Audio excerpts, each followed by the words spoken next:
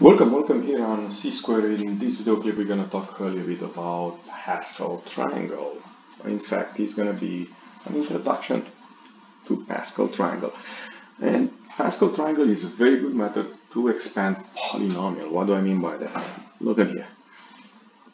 If I wanna expand these guys, uh, I can do the first one, right? A plus b to the zero power, that is one. And this one, first power you, need, you know very well, that is nothing than a plus b. I can do the second one, a square plus 2ab plus b square, right? But what about this one? Uh, this one will be a plus b times a plus b times a plus b, which if we look to the previous one would be what? a square plus 2ab plus b squared times a plus b, right? So yeah, we multiply these two guys, which are going to be this, and uh, we still have to work on that one, right? And uh, let's see what we get. I'm going to move down here. That will be what?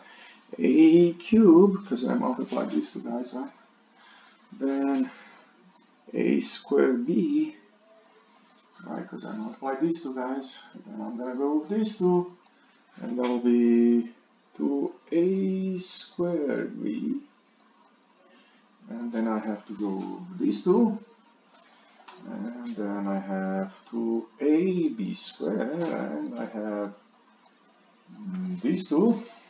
B squared a.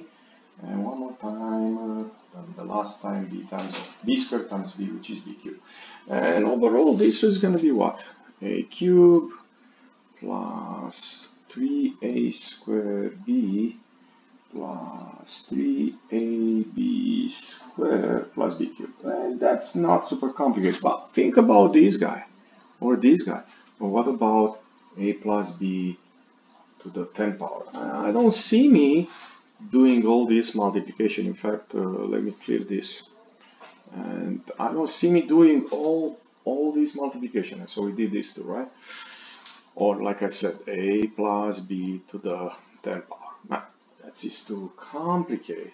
So let's take a look. I did it for the first five.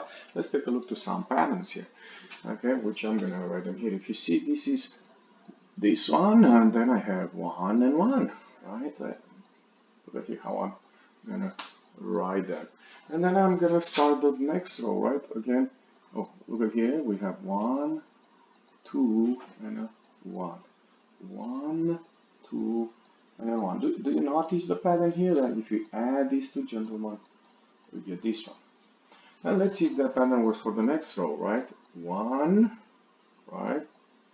3, right?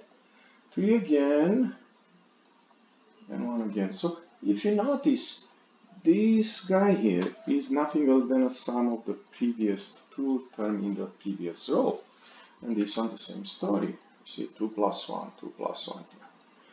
Okay, so basically I can write the next row, I don't have any space here, but let's try it. 1, mm, what is going to be this one? 4, right? Because 1 plus 3 is 4. What is going to be this guy? 6, because 3 plus 3 is 6. And again we have a 4 because we have 3 plus 1 and a 1 here. So we have 1, 2, 3, 4, five rows here and we can move to and you see this one is this guy the last row the last row is this guy and we can move to the next one and we're going to get a plus b to the fifth power. This is what we call the Pascal triangle right? It this is the guy right? We we we, we uh, I'm uh, talking about. And you see uh, there are a lot of patterns here some people may see this one, one, one, one, one here. Yeah, that's the starting point, right? That's what we're gonna start always like that. Uh, some people may see this pattern here. Yeah, that's uh, it's full of patterns in this Pascal triangle. But the one we care about in this uh, moment is each row. This one here means zero power, right? And it's zero. This one here means first power this one means second, second power, third power. So if I have this uh, Pascal triangle handy, I can do any power. And in fact, in the next thing, you will see the Pascal triangle for more rows, right? So again, zero power, first, second, third, fourth, fifth,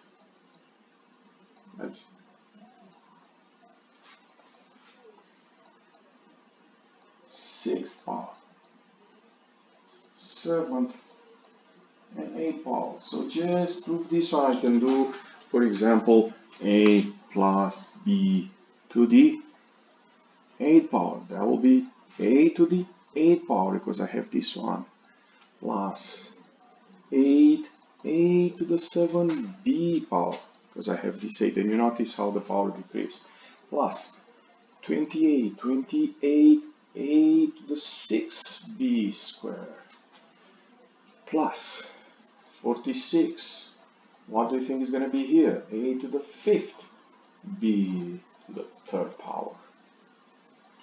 Plus 50 50 what? 50 a to the fourth b to the fourth plus. Let me move on this row plus.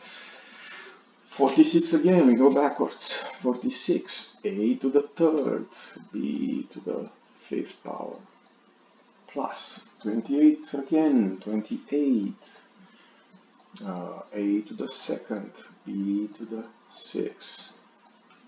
Plus 8 8 what? 8 a b to the 7 and the last one this one like the first one is gonna be just simply b to the 8 power this is the expanded form of a plus b to the 8 power very useful if you have the Pascal triangle handy. Now before I end up this presentation I just want to be sure we do have something that is called a binomial theorem where you can use this uh, combination of n taken by k and get all the exponents. If you enjoyed this introduction in the Pascal triangle, uh, please come back and C Squared for more math video tips. Thank you.